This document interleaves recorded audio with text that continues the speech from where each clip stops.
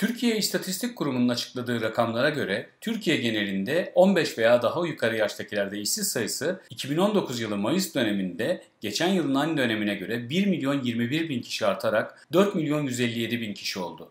İşsizlik oranı ise %3,1 puanlık artış ile %12,8 seviyesinde gerçekleşti. Aynı dönemde tarım dışı işsizlik oranı 3,4 puanlık artışla %15 olurken genç nüfusta işsizlik oranı 5,5 puanlık artış ile %23,3, 15-64 yaş grubunda bu oran 3,2 puanlık artış ile %13,1 seviyesinde gerçekleşti. Mayıs 2019'da tarım sektöründe çalışan sayısı 307 bin, tarım dışı sektörlerde çalışan sayısı 562 bin kişi azaldı. İstihdam edilenlerin %18,3'ü tarım, %19,6'sı sanayi, %5,5'i inşaat, %56,6'sı ise hizmet sektöründe yer aldı.